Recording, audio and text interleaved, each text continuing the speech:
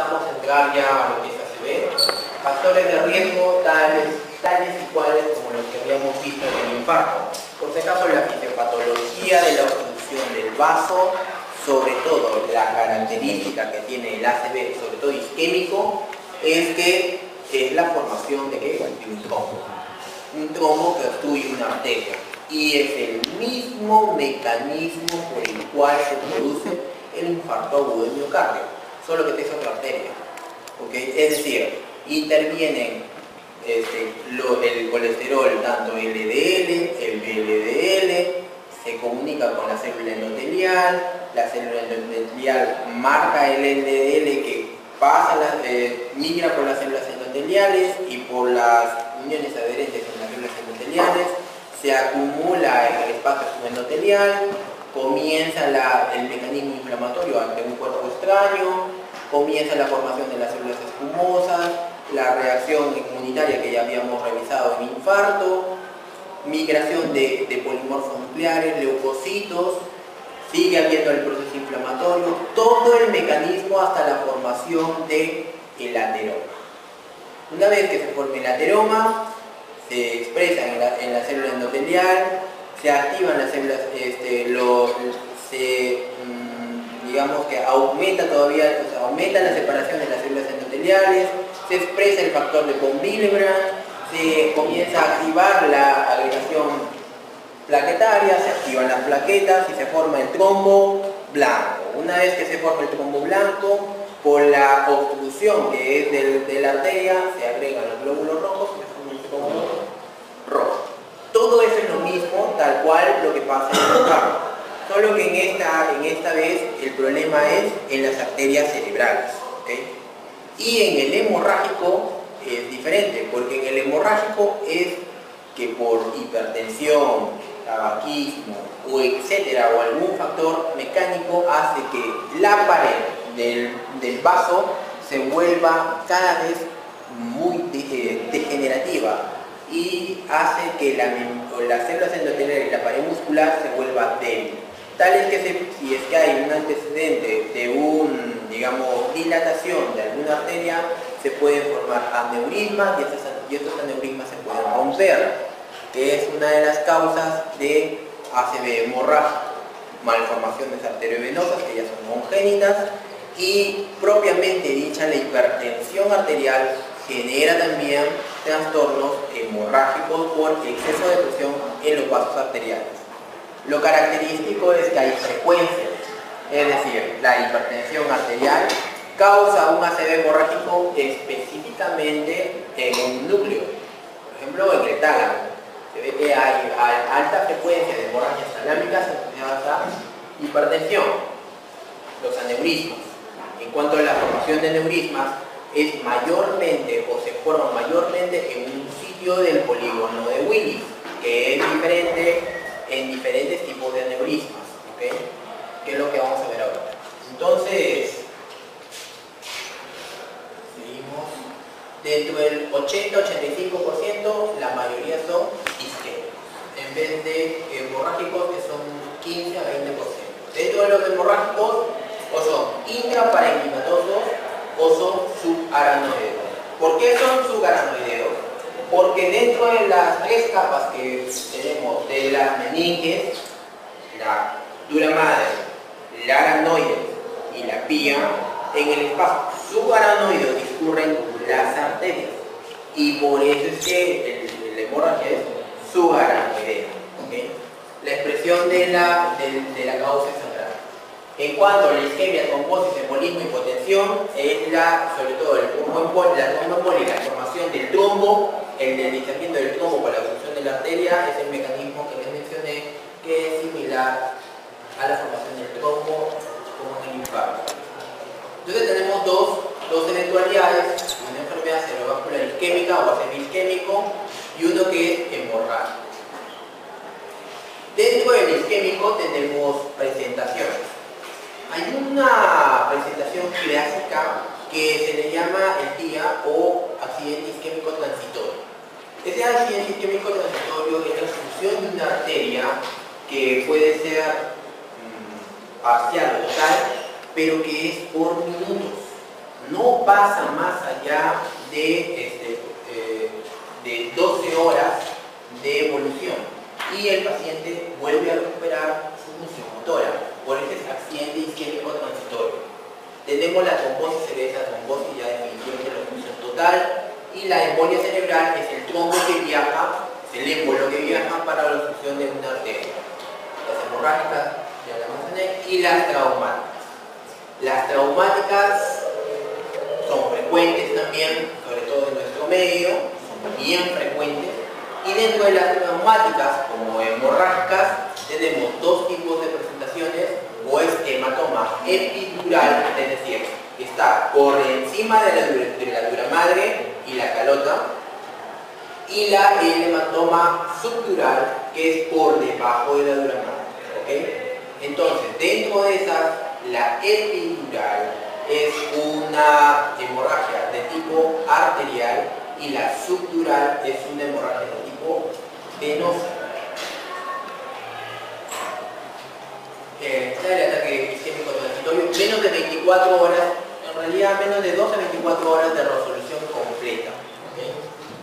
Defecto neurológico isquémico reversible de más de 24 horas y de no menos de 3 semanas, se está refiriendo al eh, isquémico embólico o la tromboembolia.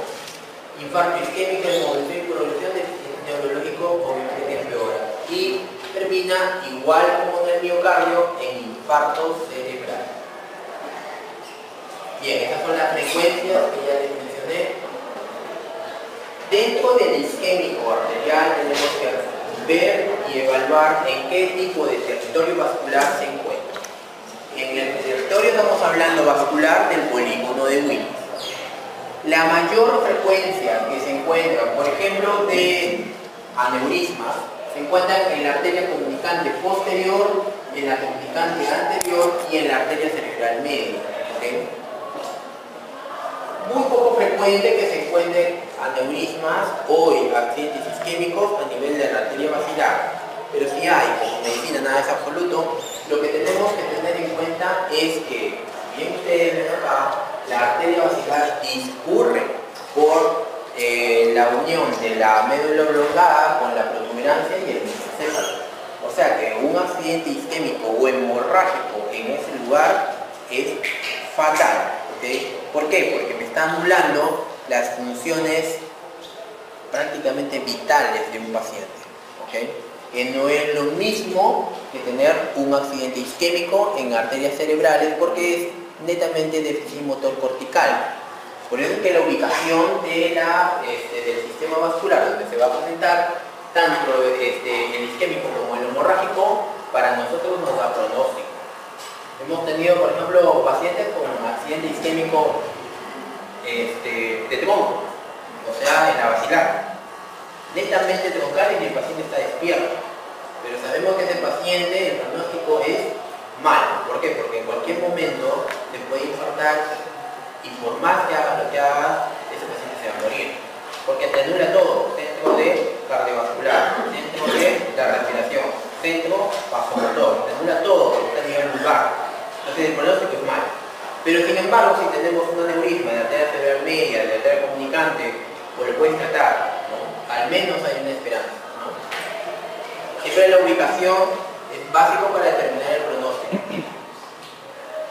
La fisiopatología. Dentro de la fisiopatología la formación del trombo, ya eso ya les mencioné y que eso ya lo hemos estudiado en infarto, no lo voy a recalcar, pero lo que sí voy a recalcar es que en el cerebro, el cerebro funciona bajo o sea, las neuronas y las vías funcionan bajo oxígeno y glucosa. Un aporte de oxígeno y el aporte de glucosa va trasladado por el flujo.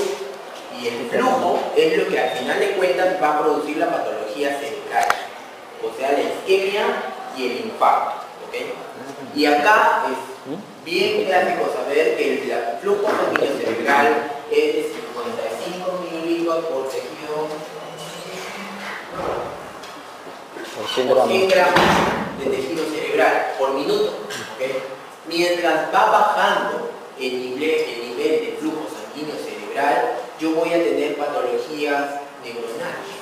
Tales que si yo tengo un flujo, por ejemplo, ya de 20 a 30 mililitros por 100 gramos de tejido cerebral, la neurona está en un estado acidótico y esa neurona es poco rescatable para dar un tratamiento en ese momento. ¿Cómo lo puedo detectar? Hasta ahorita no, nosotros mm, eh, no se puede, eh, digamos, mm, medir el flujo sanguíneo cerebral en un paciente. Lo podemos sí este, extrapolar o lo podemos deducir, como vamos a ver más adelante, que eh, para manejar este tipo de pacientes. Entonces, cada nivel, cada nivel conforme se va disminuyendo el flujo sanguíneo cerebral, es menos probable que la neurona pueda este, sobrevivir y probablemente llegar al infarto. Cuando hablamos de tanto accidentes isquémicos o hemorrágicos, estamos hablando de la pérdida de regulación del tono vascular. Y al hablar de la pérdida de regulación del tono vascular, obviamente va a afectar el flujo sanguíneo cerebral. Y esto es el mecanismo eh, molecular por el cual se produce esto. Básicamente por aumento del óxido nítrico, disminución de, de la absorción de glucosa por medio de los GLUT que ya habíamos visto en fisiología, eh, en este caso son los GLUT4, y sobre todo por la, eh, la alteración de la membrana basal, de, estamos, hablando de, estamos hablando de la barrera hematoencefálica, donde se encuentra la bomba sodio-potasio TPase. Esta disregulación de este, de este intercambio iónico hace que la depolarización de la neurona se altere. Y por lo tanto voy a tener alteraciones en la neurona de un exceso de calcio, no solamente en la neurona, sino también en los vasos. Eso hace que cosa que, sea, que actúe acá otra molécula propia del músculo liso cardiovascular, músculo liso vascular que es la calmodulina. La calmodulina es aquella, es aquella que interviene pues en el, en el rescate, digamos así, de lo que eh, de las moléculas de calcio, porque, esta, porque el músculo liso no tiene el fosfolambán, no tiene el retículo sarcoplásmico como el fosfolambán que hace que bombee calcio para que se una la troponina C. El músculo liso lo hace de la calmodulina. Entonces la calmodulina es un factor muy importante porque este va a secuestrar el calcio, ¿no? normalmente en condiciones fisiológicas. Sin embargo, en condiciones patológicas esto se va a alterar porque el calcio sobreabunda. Entonces, esto hace que se altere el mecanismo de vasoconstrucción por alteraciones de, la y miocina. Además de esto, hay neurotransmisores que, se, que actúan como digamos, pro vasoconstrictores o pro vasodilatadores, como por ejemplo la norepinefrina, la angiotensina 2 y el óxido nítrico, como les mencioné. Esta disregulación del tono, del tono vascular, hace que el flujo sanguíneo cerebral pueda aumentar en unas áreas y disminuir en otras. De ahí que viene, obviamente, la farmacología para nosotros tratar al paciente y, de alguna forma regular este tono vascular cerebral. ¿okay? De ahí que ustedes supongo que habrán hecho en farmacología eh, fármacos que son neuroprotectores, como por ejemplo el legado. ¿Qué Estoy hablando del calcio. No, calcio. No, calcio de acá, de acá, acá, de acá nace el bueno, de cáncer. Los neuroprotectores, ¿no? Pequeños neuroprotectores, dice.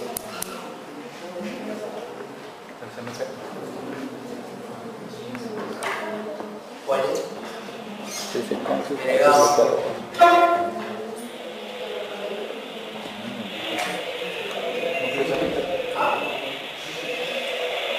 Estoy hablando del calcio antagonista? Antagonista de calcio. Obvio, ¿no? No, el dopamina actúa a nivel cardiovascular. Tiene que ser cerebral. Tiene que atravesar la barrera. protector. ¿Cuál? Simplemente hay uno que es el mismo divino, es un antagonista de calcio. actúa a nivel justamente, a nivel del músculo liso vascular cerebral.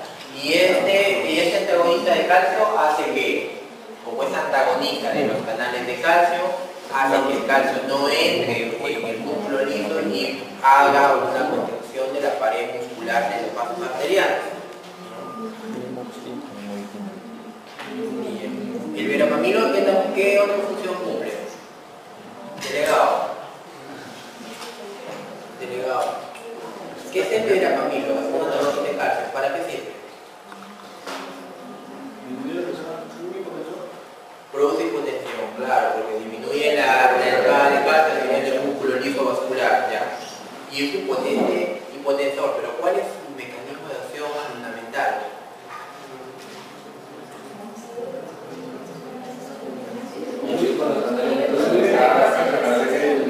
¿Cómo? El canal. Con el calcio de la unión canales estos de calcio. Sí, pero ¿qué- ¿cuál es, o sea, ¿cuál es la función? ¿Para qué se lo utiliza? ¿Para, para hipotensor? No, o sea, para bajar la presión no lo utiliza. O sea, disminuye la- Como un ejemplo hidrotrópico, pero no tópico nada.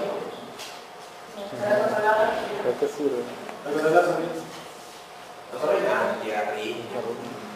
un antiarrítmico, pero como para eso se utiliza como antiarrítmico. El problema es dónde actúa, sí, pero ¿dónde? El canal. Sí, pero el diagnóstico, pero ¿en dónde? No, no está. ¿Cuál, ¿Dónde es nivel extra?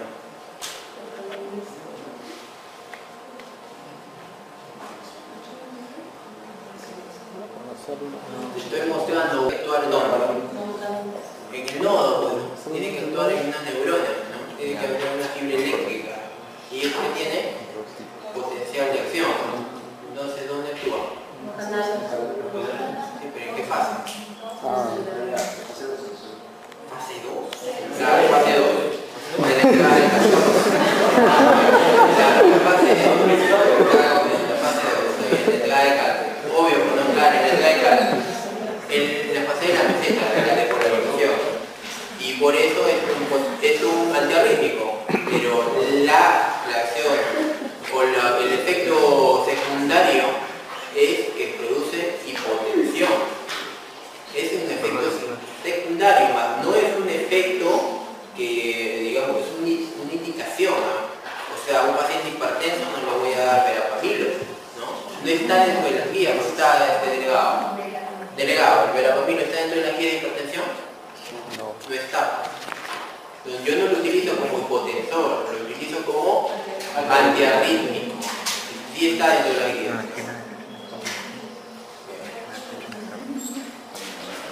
Bien, como verán acá, neurona obviamente se daña con todo el mecanismo inflamatorio que produce la disregulación de, este, del proceso inflamatorio causado por la, por la isquemia o por la hemorragia. ¿Y qué se altera? Obviamente todos los receptores que tienen que ver con canales de sodio, potasio, cloro, que eh, también es otro los canales muy importantes a nivel de la, tanto de las células neuronales como de las glías. Bien, método de diagnóstico, obvio que tiene que ser la tomografía. Uno no puede hablar de accidente isquémico teóricamente si es que yo no hablo de tomografía. O sea, yo no puedo eh, hacer un diagnóstico de ácido isquémico o hemorrágico con un examen, o sea, con un hemograma, a diferencia de un electro. No, tengo que tomarle una tomografía. ¿Ok? O sea, con eso hago el diagnóstico. Por más que yo sepa la fisiopatología, que el, que, ¿cómo se llama? que el, polimorfo, que el HDL, que el DDL y todo lo demás, y que vea que mi paciente es hipertenso, o alguna otra enfermedad y yo estoy sospechando en un ACV, lo mínimo que tengo que hacerle es tomarle una tomografía para confirmar el diagnóstico.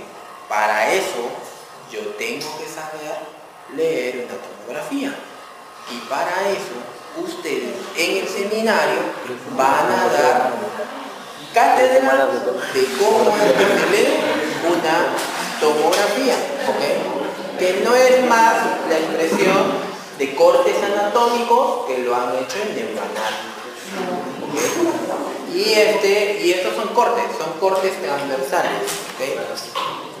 La- las imágenes que se miden en tomografía son densidades. ¿ok? Densidades que pueden ser hiperdensidad como un color blanco o hipodensidad como lo, ve- eh, eh, que se observan los ventrículos. ¿no? Entonces, lo que yo estoy buscando en un ACV que puede ser isquémico o hemorrágico, por ejemplo, esto, una hiperdensidad a nivel del tronco, una hiperdensidad a nivel del, de hemisferio del- de la fisura de los hemisferios intracerebrales, y acá también son signos hemorrágicos, son hiperdensidades. Hipodensidades son todo lo que da isquemia o este, infarto.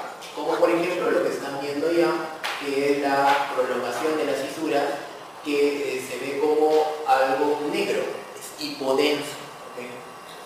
Acá, en esta imagen que mencionan en la parte de acá, ahí podría ser hasta un también, este, ¿cómo se llama? Un sangrado hiperdenso. Todo lo que es isquemia, atrofia, este, infarto, se ve como hipodensidad. Tenemos más imágenes. Ah, otra, otra cosa que definitivamente tengo que correlacionar con el paciente es de que no solamente yo me centro en la imagen tomográfica. O sea, yo puedo tomar una tomografía y veo el infarto, ¿ok? o la isquemia, o la hemorragia, pero no veo que el paciente es cardíaco, no veo que tiene neumonía, no veo que tiene un paciente con un problema renal. Tengo que, todo lo que ven ahí es el protocolo que se usa para diagnóstico de un paciente con ACV. O sea, no es que yo no le pido lo demás, pide todo. ¿Por qué? Por el simple hecho de la fisiopatología. Yo no voy a esperar tratar un ACV isquémico cuando el paciente esté en acidosis. ¿Por qué? Porque tengo que corregirle la acidosis, porque si no va a ser vasoconstricción. Yo no esperaré tratar a un paciente con una creatinina 2 o en 2 o una uremia. ¿Por qué? Porque la uremia produce trastorno de coagulación y eso me producir sangrado. Tengo que corregir la uremia. Yo no puedo darle tratamiento a un paciente con hemoglobina 8. ¿Por qué? Porque tengo que mejorar la hemoglobina, porque la hemoglobina va a ser transporte de oxígeno y eso va a servir para oxigenación cerebral y va a mejorar el paciente porque estoy oxigenando el cerebro. Yo no voy a dar el tratamiento a un paciente que está pues con 180, 200 de glucosa. ¿Por qué? Porque la hiperglicemia va a, que- va a causar, este, ¿cómo se llama? Estrés oxidativo, disfunción endotelial. Tengo que regularle la glucosa con qué? Con insulina. ¿Por qué? Porque la insulina es el que va a activar los GLUT y hace que la glucosa sea atrapada en las células, en este caso las neuronas, y se convierta en glucosa 6-fosfatasa y esta sea almacenada como glucógeno, porque la neurona también almacena glucosa. Entonces, es toda una serie de, de, mm, implicancias que yo tengo que ver en el paciente de acuerdo a lo como lo estoy viendo. Y todo tiene que estar en orden. ¿Por qué? Porque está todo bien, mi paciente va a ir bien. Y lo que tengo que hacer es ya focalizarme en el tratamiento netamente del accidente isquémico o hemorrágico cerebral. Para eso nos estamos entrenando en fisiopato. Fisiopato no es solamente que yo veo paciente renal y me enfoco en el paciente renal y me olvido del resto. No, el paciente es integral, ¿ok? Así como en fisiología es integral, fisiopato es integral y medicina interna es integral, ¿ok? Todo es integral, no es que yo me focalizo en una cosa y me olvido del otro, ¿ok?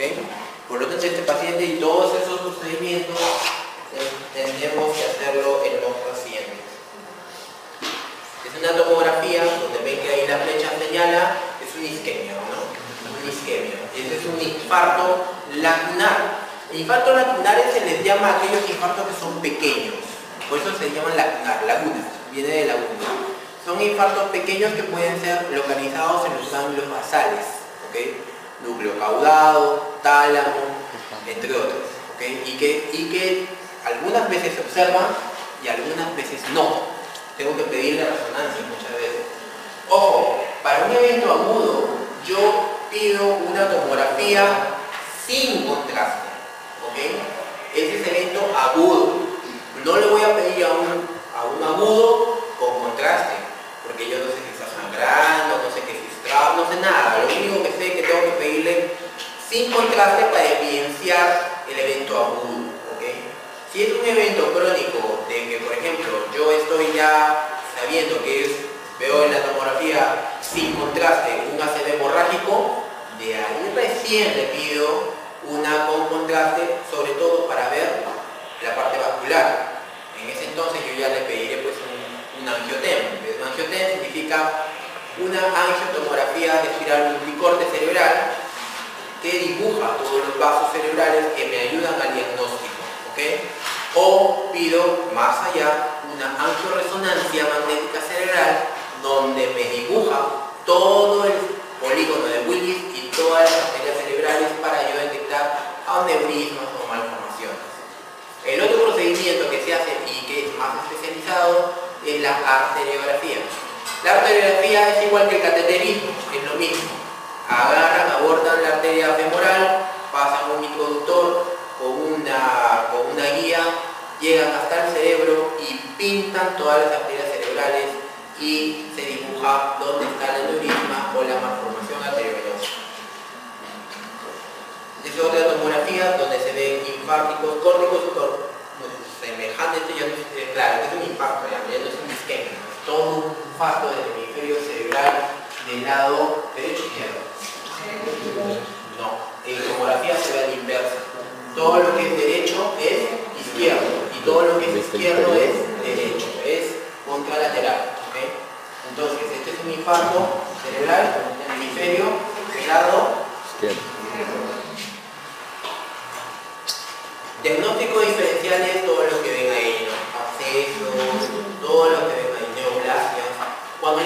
neoplasia, que es la causa de un accidente cerebral, normalmente se pide una tomografía cerebral con contraste. ¿Y por qué con contraste? Porque lo que quiero ver es que normalmente el tumor crea neovasos, o sea, son vasos formados para la irrigación del tumor. Por eso esos tumores son altamente sangrantes. Entonces se pide normalmente ya de arranque una, este, una tomografía con o hasta una, o una resonancia magnética. Manejo de la enfermedad cerebral, control cardiológico, electroencefalograma, electrocardiograma perdón, de 24 horas como monitoreo cardíaco porque la causa más frecuente es de origen cardíaco. La causa más frecuente de ACV isquémico de origen cardíaco, la fibrilación auricular. ¿Y por qué la fibrilación auricular? Porque como ustedes ya, ya hemos visto fibrilación auricular, la fibrilación auricular tiene el mecanismo de que la aurícula, el músculo auricular, no se contrae, no se depolariza adecuadamente y crea focos ectópicos, como ya habíamos visto. Pero ¿qué pasa dentro dentro del endocardio, dentro de la, de la cámara cardíaca, es que como no se depolariza, la sangre que está ahí tiende a coagularse. Y como tiende a coagularse, comienza a disparar émbolos por todas partes. Esos pacientes pueden ser ácido isquémico, pueden ser, este, ¿cómo se llama?, trombosis arterial, isquemia mesentérica, pueden hacer isquemias en todo lugar y el cerebro no se salva. Este, obviamente todo lo que les he dicho, todo el manejo, ¿no? Hidroelectrolítico, este, metabólico, cardiológico, renal, todo eso ustedes tienen que evaluar en su paciente porque todo eso le va a afectar. Toda aquella cosa que no llegue oxígeno y glucosa en buenas concentraciones al cerebro. ¿Ok? Bien. Y ya netamente dirigido cuidados posturales, por ejemplo, el paciente con, ahorita vamos a ver que es parte del manejo de hipertensión endocraniana, posturas de la cabeza, posturas en el caso, bueno, el otro es control de la temperatura, prevención de trombosis venosa profunda como anticoagulación, estos pacientes, sobre todo los isquémicos, porque los hemorrágicos no se pueden anticoagular. En los isquémicos sí necesariamente tienen que ser anticoagulados. El manejo de la hipertensión arterial, hay veces, bueno, el manejo de la hipertensión endocraniana, que es lo que vamos a ver ahora, pulsivantes porque alguno de las patologías, depende de dónde se ubique la isquemia, puede desencadenar focos epileptógenos. Eso ya sería una epilepsia secundaria. Entonces, eso eh, necesariamente tengo que dar anticonvulsivantes no esperando a que mi paciente convulsione. Y uno de los anticonvulsivantes que se da es la fenitoína. Y como ustedes ya, como ustedes habrán llevado neuro, delegado, ¿dónde actúa la fenitoína? La fenitoína. La hormiga. ¿Dónde actúa la fenitoína? GABA. Y no sería un GABAérgico, porque sería un, este, ¿cómo se llama? Una benzodiazepina. ¿Dónde actúa la fenitoína? Yo sería anticonvulsivante. Se da también antiagregantes plaquetarios, tal cual como el infarto, porque en el infarto se acuerdan que también dábamos antiagregantes plaquetarios, en el isquémico también, ¿ok? Y rehabilitación, hipertensión. ¿Dónde actúa? No pasa más allá de, este, eh, de 12 horas de evolución y el paciente vuelve a recuperar su función motora por ese accidente isquémico transitorio tenemos la trombosis cerebral, trombosis ya definitivamente la función total, y la embolia cerebral es el trombo que viaja, es el émbolo que viaja para la obstrucción de una arteria. Y las traumáticas. Las traumáticas son frecuentes también, sobre todo en nuestro medio, son bien frecuentes, y dentro de las traumáticas, como hemorrágicas, tenemos dos tipos de presentaciones o es hematoma epidural, es decir, está por encima de la, de dura madre y la calota, y la el hematoma subdural, que es por debajo de la dura madre.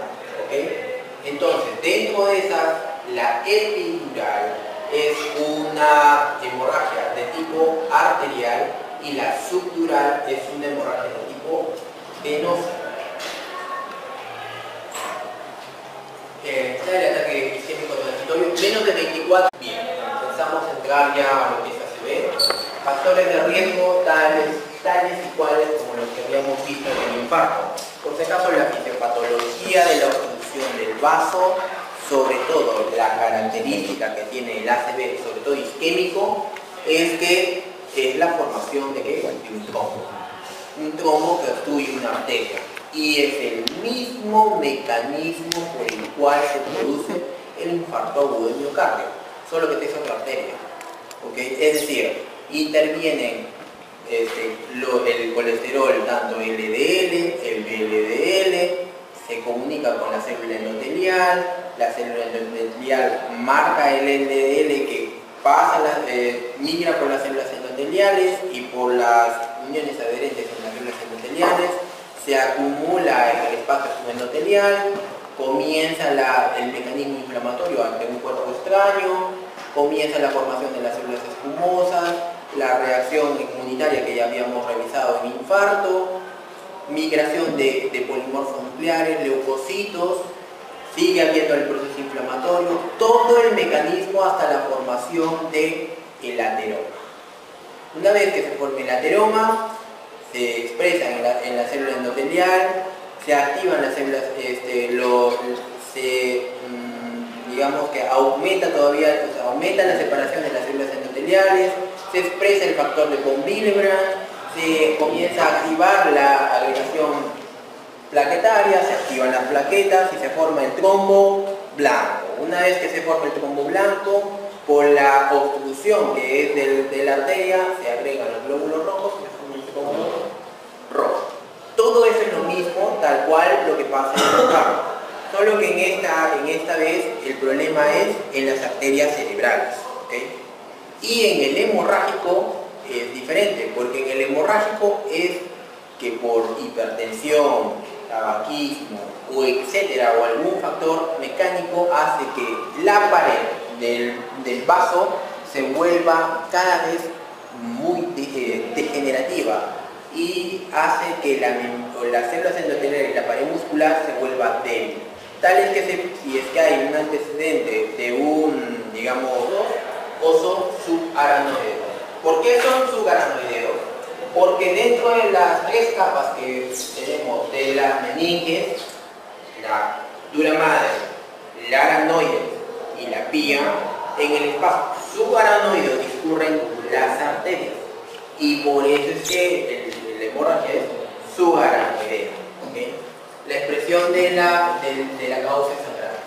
En cuanto a la isquemia, trombosis, embolismo, hipotensión, es la, sobre todo el trombo la la formación del trombo, el deslizamiento del trombo para la obstrucción de la arteria, es el mecanismo que les mencioné, que es similar a la formación del trombo como en el infarto. Entonces tenemos dos, dos eventualidades, una enfermedad cerebrovascular isquémica o acemi isquémico y uno que es hemorrágico. Dentro del isquémico tenemos presentaciones. Hay una presentación clásica que se le llama el TIA o accidente isquémico transitorio. Este accidente isquémico transitorio es la función de una arteria que puede ser mm, parcial o total, pero que es por minutos. Dilatación de alguna arteria se pueden formar aneurismas y estos, y aneurismas se pueden romper, que es una de las causas de ACV hemorrágico malformaciones arteriovenosas que ya son congénitas y propiamente dicha la hipertensión arterial genera también trastornos hemorrágicos por exceso de presión en los vasos arteriales. Lo característico es que hay frecuencia, es decir, la hipertensión arterial causa un ACV hemorrágico específicamente en un núcleo, por ejemplo el tálamo hay alta frecuencia de hemorragias talámicas asociadas a hipertensión, los aneurismas. En cuanto a la formación de aneurismas, es mayormente o se forma mayormente en un sitio del polígono de Willis, que es diferente en diferentes tipos de aneurismas, ¿okay? que es lo que vamos a ver ahora. Entonces, seguimos. Dentro del 80-85%, la mayoría son isquémicos, en vez de hemorrágicos que son 15 a 20%. Dentro de los hemorrágicos, o son intraparenquimatosos